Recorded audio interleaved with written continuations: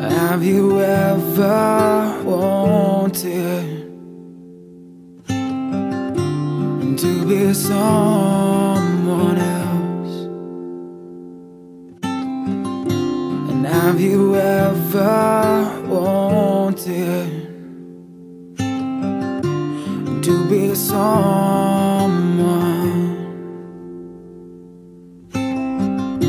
Have you ever